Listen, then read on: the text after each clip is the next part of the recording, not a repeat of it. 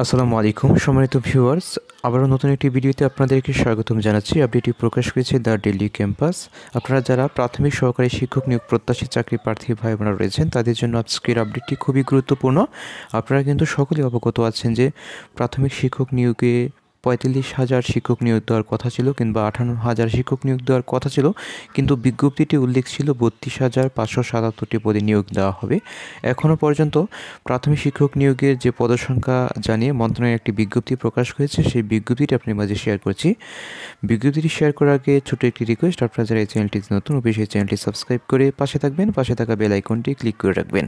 প্রাথমিকের শিক্ষক নিয়োগের পদসংখ্যা জানিয়ে মন্ত্রণালয়ের বিজ্ঞপ্তি আপডেটটি প্রকাশ করেছে বিশে নভেম্বর দু হাজার বাইশ।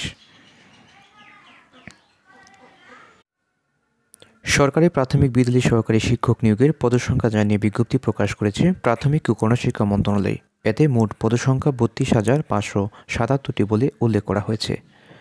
সম্প্রতি মন্ত্রণালয় বিদ্যালয় দুই শাখা থেকে এ সংক্রান্ত বিজ্ঞপ্তি প্রকাশ করা হয়। এতে স্বাক্ষর করেছেন উপসচিব মোহাম্মদ কবির উদ্দিন।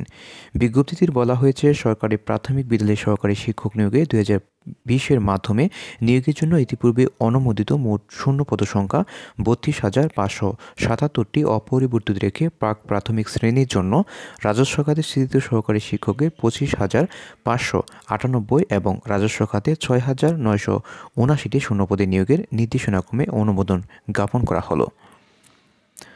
জানা গেছে, দুই হাজার বিশ সালে প্রাথমিক বিদ্যালয় সহকারী শিক্ষক নিয়োগের বিজ্ঞপ্তি প্রকাশ করা হয়। বিজ্ঞপ্তিতে বত্রিশ হাজার পাঁচশো সাতাত্তর জনকে নিয়োগের কথা বলা তবে করোনার কারণে দীর্ঘদিন নিয়োগ কার্যক্রম বন্ধ থাকায় আরও দশ হাজার পদ শূন্য হয়।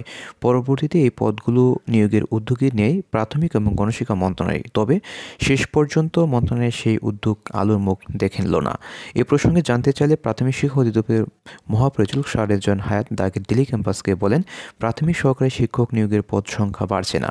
পূর্বের সিদ্ধান্ত অনুযায়ী নিয়োগ দেওয়া হবে। চলতি নভেম্বর মাসে ফল প্রকাশের চেষ্টা করা হচ্ছে।